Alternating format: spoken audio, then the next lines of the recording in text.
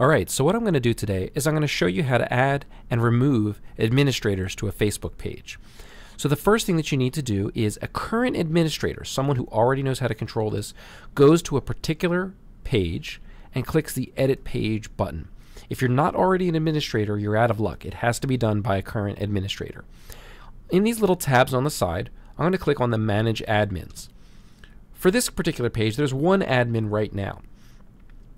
So what I could do is I could start by saying I want to add my wife as an admin. So I pick her name and there she goes.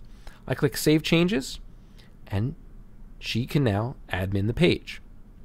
Now, if you already have some admins and you go to your Manage Admins page, you might see, you know, someone there that you want to remove. So you simply click the Remove button. And then once that's done, you click Save Changes. You can also add someone by email address. So if you're not their friend, but you want to add them, you can simply type in their email address. So it could be, you know, someone at world.com at world.com. And if that actually worked, we could add them as an admin to the page and you would be set.